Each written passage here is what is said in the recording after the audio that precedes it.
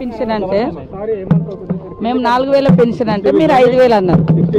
మేము రైతు బంధు పదిహేను వేలు అంటే టీఆర్ఎస్ పదహారు వేలు అన్నారు. అంటే ప్రతిదానికి మేము ఐదు వందల గ్యాస్ సిలిండర్ అంటే వాళ్ళు నాలుగు వందలకే ఇస్తారు. అదే అదే అంటున్నా మేము ఒక్కొక్కటి ఒక్కొక్కటి చేసుకుంటాం. వంద రోజులలో వంద రోజులలో ప్రతి హామీని కూడా అమలు చేస్తాం అనేది మా మేనిఫెస్టోలో పెట్టినటువంటి విషయం. అదే కాకుండా ఇప్పుడు ఏంటంటే వాళ్ళ యొక్క డొల్లతనము వాళ్ళ యొక్క లోపభూయిష్టమైనటువంటి పరిపాలన ప్రజలకు తెలుస్తుంది కాబట్టి ఎదురు దాడి చేసేయటం. ప్రజలు ఎవరు ఇంకా ప్రశ్నించే ఎందుకంటే ప్రజలు ఆలోచిస్తున్నారు ఏం జరిగిందో అసలు బయటికి రావాలి ఇన్నాళ్ళు.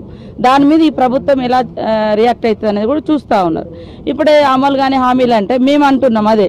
మేము ఇచ్చిన దానికంటే ఇంకొక వెయ్యి రెండు వేలు మీరు పెంచుకుంటేనే ఇచ్చారు మరి మీరు ఎట్లా అమలు చేస్తాం అనుకొని హామీ ఇచ్చారు అందుకనే అంత తొందరపాటు వద్దు. తప్పకుండా ప్రజలకు ఇచ్చినటువంటి ప్రతి హామీని కాంగ్రెస్ పార్టీ అమలు చేస్తుంది. కానీ కేటీఆర్ గారికి చూస్తే పాపం అధికారం పోయిందనేటువంటి ఆ యొక్క బాధ చాలా వెంటాడుతున్నట్టుగా స్పష్టమవుతుంది. ప్రజలందరూ సంతోషంగా ఉన్నారు.